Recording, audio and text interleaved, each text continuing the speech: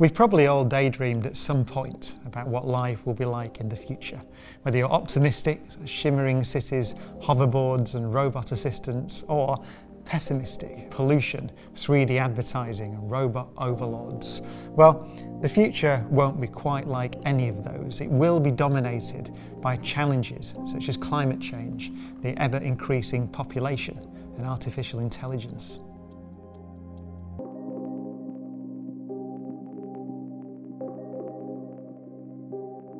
The history of autonomous vehicles actually goes back quite far. The oldest example where we had autopilots, that's actually airplanes. And the first autopilot was already in 1912 where people were using an autopilot in an airplane to stabilize the flight and make it much easier for the pilot to fly the airplane. Maybe the most exciting right now, that's actually self-driving cars. In self-driving cars, we are not yet really at the full potential of self-driving cars. We're not driving uh, completely without drivers. There are different levels of autonomy. We are actually making big progress with uh, artificial intelligence in, in these vehicles that will hopefully get us uh, soon to higher levels of autonomy.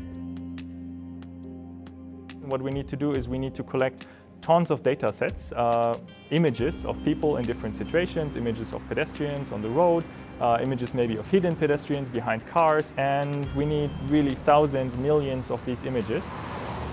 AI is trained on examples to train a network to recognize objects on the road uh, of images where something is labeled as a truck or is labeled as a car. And if you have only been training on cars and trucks, then you will never be able to recognize a bicycle. So you will have to provide examples of, of, of recognizing a bicycle.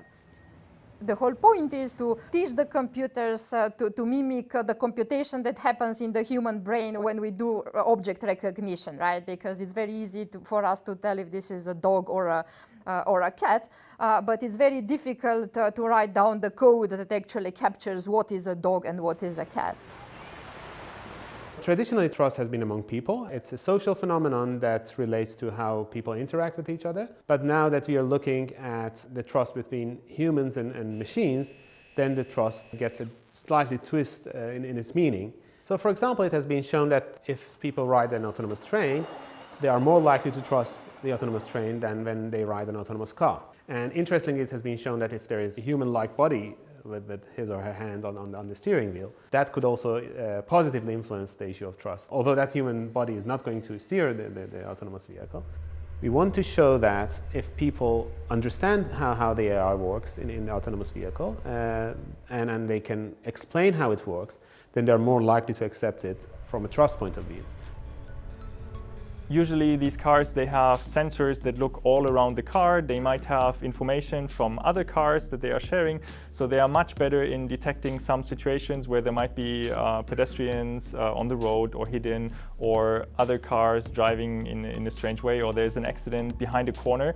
So the, the problem with the data on how much they will reduce accidents is um, that uh, there, there, was one statistics I think which is quite credible which says that it's 40%. But then there are ones that say, well basically 96% percent of the accidents are based on human errors, so self-driving cars can rule out 96% of the accidents. Another advantage is that there are still some people who don't have access to either their own car or maybe they cannot drive themselves for, for various reasons, maybe uh, because of age or, or disability.